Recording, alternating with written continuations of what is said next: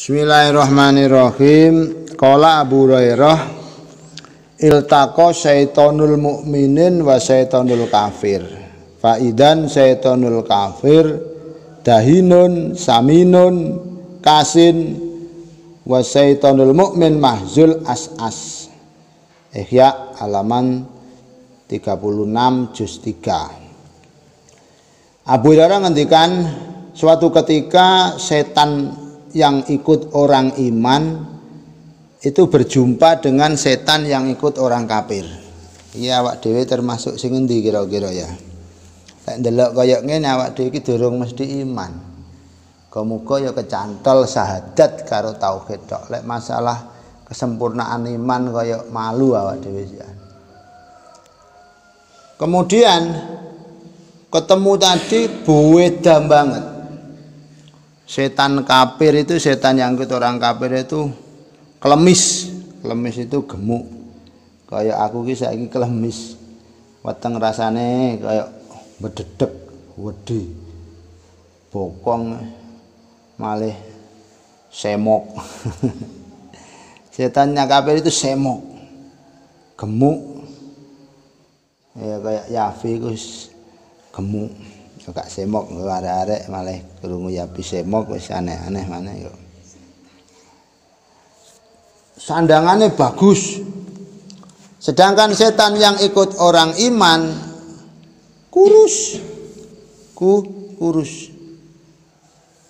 Terus rewok-rewok gak keratur. Lemas. Pokoknya wis pakaiannya compang-camping blegadus lapar loyo. Akhirnya setan kafir bertanya lapa awakmu? Kok iso kaya wong loro kena corona jadi. Setan kafir bertanya li setanil mukmin malaka mahzun? Kok cek kurune kok kuru sekali ente? Jadi eh setan kok cek kurune Qala ana ma'rajulin idza akala samallah fa'adalla ja'ian. Wa idza syariba samallah fa'adalla atshanan. Bila dek. Wa idza labisa samallah fa'adalla uryanan. Aduh, cari setan sing mukmin, ketemu orang mukmin. Aku susah. Aku celoko. Aku pas blind. Kok bisa? Saya itu pas oleh jatah bersama seseorang yang ketika mau makan dia selalu baca bismillah, selalu ingat Allah. Oh, sudah ada jadi wong turu. Saya langsung lapar, tok tidak pernah dapat ikut ma makan. Makanya sampean kalau makan apa pun, makan jajan, makan nasi, makan es, atau apa? Jangan lupa ingat Allah baca bismillah lah minimal. Itu tidak ada jatah bagi setan untuk nyuwil makananmu. Makanannya barokah nanti. Baro barokah. Katanya setan yang oleh jatah ikut orang mukmin tadi gitu. Aduh saya itu pas oleh jatah bareng orang yang ketika makan dia baca bismillah. Ingat Allah berdoa saya lapar, tidak dapat jatah makan. Ketika minum apa saja, dia baca bismillah, ingat Allah. Saya haus terus tidak dapat jatah mi, minum. Ketika pakai pakaian, dia baca asma Allah. Ya kan pakaian itu paling lupa. Jok mana sing kecil-kecil itu. Yang wis tuwek-tuwek sak pandi paling mbuh maca bismillah barang kate kelamben baca bismillah bismillahirrahmanirrahim. Bahkan nek iso doane itu Allah kama ahsan tawaji fa ahsin ya Allah seperti halnya engkau membaguskan wajah saya maka baguskanlah akhlak saya. Eh, ingat Allah. Setan tidak dapat jatah bagian. Setan langsung telanjang mudo Nah, ini lerek. Penting ya, apa ini ilmu yang dapat kita petik.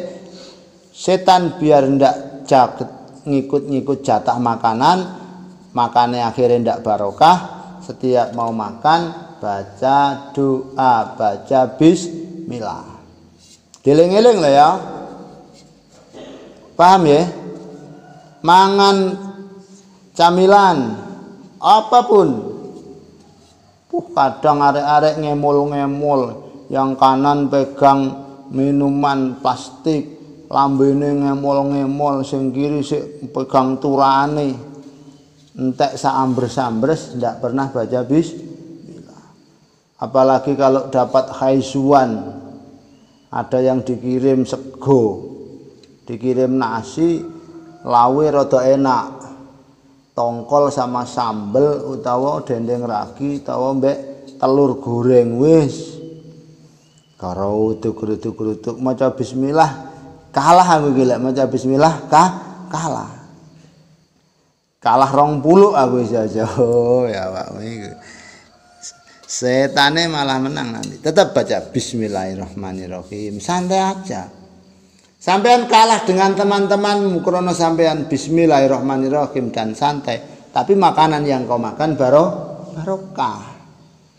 Sampean menang iso ngalani kancamu, wis langsung cewek kali kabeh blok blok blok blok. Lawambene ngemul-ngemul, tangane nyewekel. Puh, njupuk sitoke ndelik-ndelikne. Tapi kalau lupa dengan Allah kesusu-susu, sampean malah gur oleh akeh tapi dijabut barokahnya. Naudzubil Alhamdulillah. Paham ya? Ngaten. Baca bismillah, mau minum baca bismillah, mau pakai pakaian baca bismillah. Ngoten. Wa idza dahana sama Allah fa adzalla sa'asan. Ketika dia memakai minyak wangi, minyak kepala atau lengonan rambut, dia baca bismillah. As, saya tidak kebagian saya rawuk-rawuk sampean nate wedaan wedaan wedaan apa kono citra wedaan apa biasa? Hmm, minyak wangi kepalane wajahe. Baca bismillahirrahmanirrahim eh. Masuk. Jadi aja pengen gaya. Ben di lemari wedok perlu apa? Lek dilem terus apa? Ketok wanteng ketok menawan terus apa ya pancet paling. Baruk ya baruk gak kira pas jadi sahrulkan ya pancet baruk Bismillahirrahmanirrahim. Faqala lakini ma'rajulun la yaf'alu syai'an min dalika fa ana usyarikuhu fi ta'amih wa syarabih wa libasih. Kata setan yang bersama orang kafir ngono ya. Ini setan orang kafir katanya uh kalau saya enak kata setan yang bersama orang kafir. Saya pas nyaman damai saya bersama seseorang yang tidak pernah melakukan itu semua. Maka ndak pernah ingat Allah temal temal temal temal minum ndak pernah ingat Allah selegak seleguk selegak seleguk pakaian tidak pernah ingat Allah Masya Allah bahkan sampai kadang jima tidak ingat Allah. Saya sampai lek di bojo lek kata jima jangan sampai lupa baca bismillah. Ingat Allah. Ben anaknya ora dicampuri anaknya sy setan titip setan itu neng kono amu. Yahin ya.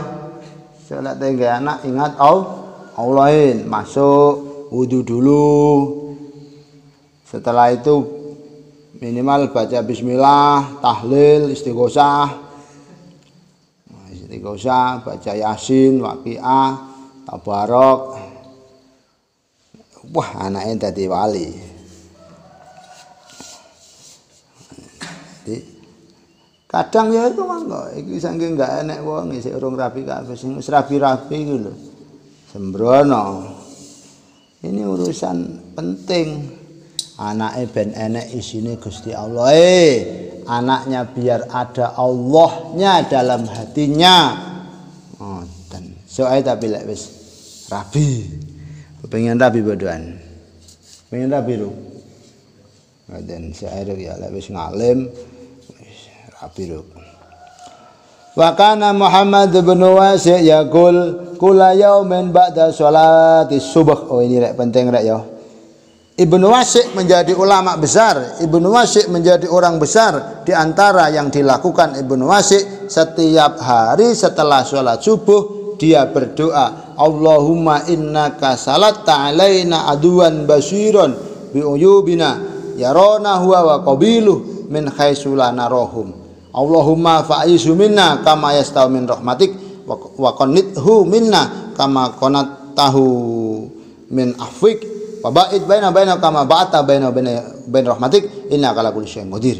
Ila rek. Ayat 3 donga-donga Ibnu Masih setiap setelah subuh berdoa ya Allah seperti sesungguhnya engkau memasrahkan pada saya musuh yang selalu mengintai musuh yang tidak pernah tidur, musuh yang selalu melihat celah dan kejelekanku, kekuranganku, yang selalu menyaksikanku dan bala tentaranya dari arah-arah yang saya tidak bisa melihat mereka. Ya benda, kita dilihat setan toh. Ini sudah ditunggu setan. Kadang sudah ada yang ditumpai setan. Turuai, turuai, tidurai, rasa nih, apa wong cepres iku. Eh, Ayo kita mudun, mudun, mudun, mudun. Eh, berarti ini mbak saya. Mau tidur, mau bangun subuh, gak bisa bangun, lah apa ngantuk-ngantuk bangun. Itu mbak saya. Mau jamaah, serasa jamaah jamaah, lah mau ngaji, serasa ngaji-ngajian. Ya, kena setan terus. Kita itu diintai terus, dilihat setan, padahal kita tidak melihat mereka. Setan tidak satu, sak bala tentara nih. Ada yang bagian mata, ada yang bagian telinga, ada yang bagian lesan, ada yang bagian pikiran, ada yang bagian tangan. Kita hanya satu. Hanya sah, satu. Sering kalah, tangannya selamat, tiba eh motone gak salah. Ya lu ya. Kamu sing gampang gak selamat apa nih lu? Kupingnya selamat, tiba eh lesane gak selamat. Lek wong lanang biasa sing gampang gak selamat motone Orang laki-laki yang biasa kalah itu matanya. Kalau orang wanita yang biasa dikerumul setan, diuyui setan, cangkeme lesa, lesane. Ngecemes dok ngerasani orang ndak pernah berai-berai. Kumpulan tahlilan tibaan orang perempuan taman lihat. Kadang temannya baca la ilaha illallah. Sik kok berasan-rasan. Dawe sinten wau? Muhammad bin Wasi' ya Allah engkau memasrahkan kami musuh yang selalu melihat kami dan bala tentaranya. Di mana kami tidak bisa melihat mereka ya Allah? Ya Allah putus asakanlah dia untuk menggoda kami. Wah wah wah berarti ditolong Allah terus dijaga Allah terus. Seperti halnya engkau memutuskannya memutus asakannya dari rahmatmu. Ya Allah putuskanlah dia dari kami seperti engkau memutus dia dari ampunanmu. Ya Allah, jauhkanlah kami darinya seperti engkau menjauhkan dia dari rahmatmu. Sesungguhnya engkau segala sesuatu pasti mampu. Ayo diwaca bareng-bareng amin ana ya. Amin ana amin amin amin amin amin. Amin. Amin ya rabbal amin. Allahumma innaka salatta alaina aduan basiran biyubina yarona huwa qabiluh min haitsu la narahum Allahumma fa'isu minna kama yastau min rahmatik wa qanithu minna kama qanattahu min afik wa ba'id baina bainahu kama ba'da bainahu wa baina rahmatik. Innaka la kulli syai'in qadir. Masya Allah itu doanya Muhammad bin Wasik setiap pagi. Jadi jaluk dijauhkan kita dengan godaan setan seperti Allah menjauhkan setan dari rahmatnya. Minta diputus asakan setan dari kita seperti Allah memutus asakan setan dari ampunan. Ampunannya di e, belas kasihnya dan sebagainya. Leka oleh pertolongan Allah kalah kalah terus. Kadang gayane koyok kupluan eh sudah dicengkeram setan hatinya ingin dipuji orang terus. Dendam terus. Mentari jeleknya orang terus. Merasa benar terus. Orang keliru semua terus. Berarti sudah kalah. Kadang jangan dengan orang lain dengan saudara sendiri. Kita sudah saling merasa benar merasa sombong.